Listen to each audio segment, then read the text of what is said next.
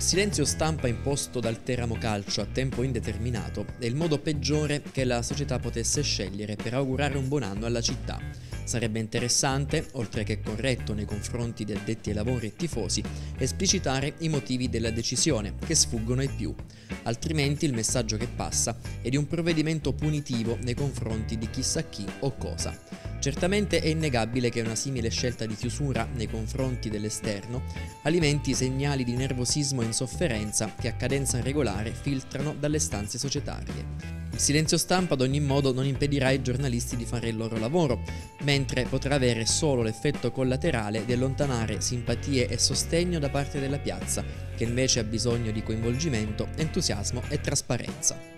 In questo clima che di sereno a poco, la squadra si allena per farsi trovare pronta alla ripresa del campionato. Poco meno di dieci giorni per la trasferta sul campo della Sicula Leonzio. Dal poco che filtra, il mercato non porterà stravolgimenti, ma solo correttivi. In attacco sono dati in partenza Cianci, tante le società che ci stanno facendo un pensierino, e Martignago. I sostituti individuati sarebbero Barisic e Curiale, entrambi in uscita da Catania per esigenze di bilancio. Dalla Sicilia però rimbalzano notizie di un mancato accordo tra il Teramo e i due attaccanti, mentre su Curiale tenta l'inserimento il Ravenna, che lo ha già avuto al soldo un decennio fa. Fronte terzino sinistro, si fa il nome di Pietro Visconti, classe 89, in scadenza col Novara, una sola presenza quest'anno in campionato.